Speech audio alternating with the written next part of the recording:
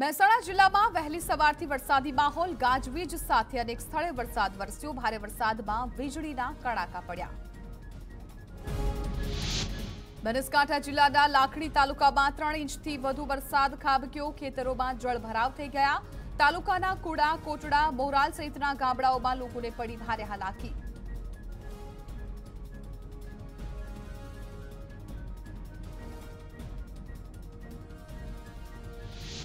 બનાસકાંઠાના પાલનપુરમાં મોડી રાત્રે વરસ્યો ધોધમાર વરસાદ ત્રણ કલાકમાં ત્રણ ઇંચ જેટલો વરસાદ ખાબક્યો Abu road highway Ahmedabad highway Ambaji સહિતના હાઈવે પર પાણી ભરાયા નીચાણવાળા વિસ્તારોમાં જળભરાવથી લોકો પરેશાન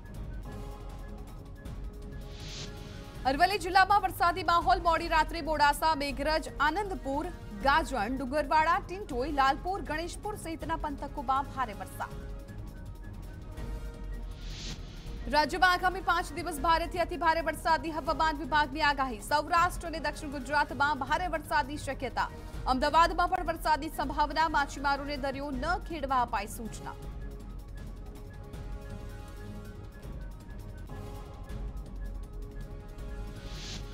છ જુલાઈએ રાજ્યમાં વરસાદનું ઓરેન્જ અને યલો એલર્ટ જૂનાગઢ અમરેલી ભાવનગર ગીર સોમનાથ ભરૂચ સુરત અને વલસાડમાં હવામાન વિભાગે ઓરેન્જ એલર્ટ આપ્યું છે પોરબંદર રાજકોટ બોટાદ વડોદરા છોટાઉદેપુર નવસારી તાપી ડાંગ બનાસકાંઠા અને પાટણમાં યલો એલર્ટ સાત જુલાઈ જૂનાગઢ અમરેલી ગીર સોમનાથમાં ઓરેન્જ એલર્ટ આઠ જુલાઈએ જામનગરમાં રેડ એલર્ટ અપાયું દ્વારકા પોરબંદર નવસારી અને વલસાડમાં ઓરેન્જ એલર્ટ કચ્છ રાજકોટ જૂનાગઢ અમરેલી ભાવનગર અને ભરૂચ સુરતમાં પણ યલો એલર્ટ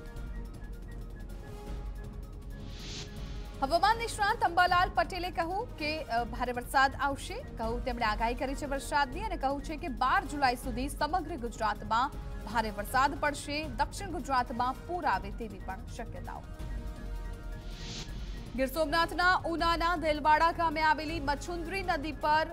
બ્રિજનું કામ સમયસર પૂર્ણ ન થતા હાલાકી આસપાસના પંદર ગામના લોકો જીવના જોખમે નદી પાર કરવા મજબૂર બન્યા ધસમસતા પાણીના પ્રવાહ વચ્ચે સીડી અને દોરડાથી નદી પસાર કરી રહ્યા છે ગ્રામજનો અમદાવાદ અને આજે બીજી વંદે ભારત ટ્રેનની ભેટ મળશે વડાપ્રધાન મોદી દેશમાં બે નવી વંદે ભારત એક્સપ્રેસને લીલી ઝંડી બતાવશે અમદાવાદના સાબરમતીથી જોધપુર વચ્ચે ટ્રેન સપ્તાહમાં છ દિવસ ચાલશે રવિવારે મેન્ટેનન્સના કારણે બંધ રહેશે વંદે ભારત ટ્રેન સાબરમતીથી છ કલાકમાં જોધપુર પહોંચાડશે એટલે કે મુસાફરોના બે કલાકનો સમય બચી જશે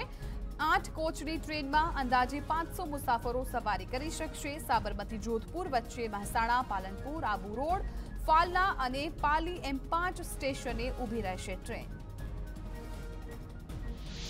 વડાપ્રધાન મોદી બે દિવસમાં દેશના ચાર રાજ્યોને પચાસ હજાર કરોડથી વધારેના વિકાસ કાર્યોની ભેટ આપવાના છે પીએમ નરેન્દ્ર મોદી આજે છત્તીસગઢ અને ઉત્તર પ્રદેશની મુલાકાત લેવાના છે છત્તીસગઢમાં પાંચ મહત્વના રાષ્ટ્રીય હાઈવે પ્રોજેક્ટની ભેટ આપશે ત્યારબાદ ઉત્તર પ્રદેશના ગોરખપુર અને વારાણસી જશે પીએમ મોદી પૂર્વાચલને કરોડોના વિકાસ પ્રોજેક્ટ સમર્પિત કરશે જુલાઈએ તેલંગાણામાં છ હજાર કરોડથી વધારેના વિકાસ કાર્યોના શિલાન્યાસ કરાશે ત્યારબાદ રાજસ્થાનના બિકાનેરમાં ચોવીસ હજાર ત્રણસો કરોડના વિકાસલક્ષી પ્રોજેક્ટનું વડાપ્રધાન લોકાર્પણ કરશે બિકાનેરમાં નવી ત્રીસ બેડવાળી ઈએસઆઈસી હોસ્પિટલનું લોકાર્પણ કરશે જ્યારે ચારસો પચાસ કરોડના ખર્ચે બિકાનેર રેલવે સ્ટેશનના પુનઃ વિકાસની આધારશિલા રખાશે વારાણસીમાં બાર હજાર કરોડથી વધુના વિકાસ યોજનાઓનું ઉદ્ઘાટન કરશે વડાપ્રધાન મોદી ગીતા પ્રેસના શતાબ્દી સમારોહના સમાપનમાં ભાગ લેશે ગોરખપુર રેલવે સ્ટેશનના પુનઃ વિકાસનો શિલાન્યાસ કરશે વારાણસીમાં બાર હજાર સો કરોડની ઓગણત્રીસ જેટલી વિકાસ યોજનાની ભેટ આપશે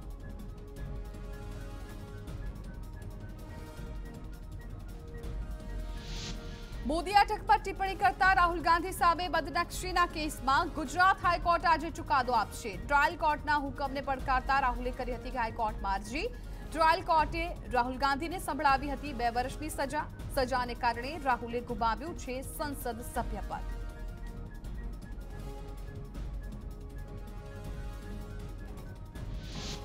અદાણીએ સીએનજી ગેસના ભાવમાં ફરી ત્રીસ પૈસાનો વધારો કર્યો છે. એક મહિનામાં સતત ચોથી વાર ભાવ વધારતા એક રૂપિયો ચાળીસ પૈસા મોંઘો થયો. આ સાથે અમદાવાદમાં કિલો દીઠ ગેસનો ભાવ પંચોતેર રૂપિયા ઓગણસિત્તેર પૈસાએ પહોંચ્યો.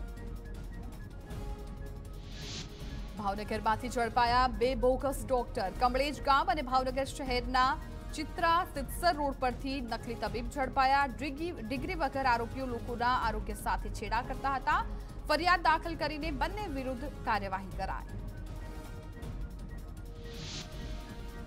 કચ્છના ગાંધીધામમાં મોબાઈલની દુકાનમાં લૂંટનો પ્રયાસ થયો છે. નેશનલ હાઈવે પર આવેલા રાધે કોમ્પ્લેક્સમાં વેપારીની આંખમાં મરચાની ભૂકી નાખીને બેગ ઝૂંટિયાની કોશિશ કરી.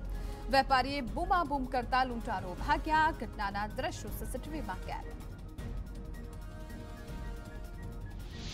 અમદાવાદ શહેરના પોશ વિસ્તારોમાં ચોરી કરતા બે શખ્સ ઝડપાયા જ્યાં સીસીટીવી લાગેલા ન હોય તેવી નાની મોટી દુકાનો અને શોરૂમને બનાવતા ટાર્ગેટ આરોપીઓએ એક મહિનામાં વસ્ત્રાપુર નારાયણપુરા અને સોલા વિસ્તારમાં દસથી વધુ દુકાનોને નિશાન બનાવી મહેસાણાના બાળ ઓબ્ઝર્વેશન હોમમાં બબાલ કાયદાના સંઘર્ષમાં આવેલા બાળકો વચ્ચે માથાકૂટ એક બાળક ઇજાગ્રસ્ત ઘટનાની જાણ થતા પોલીસ દોડી આવી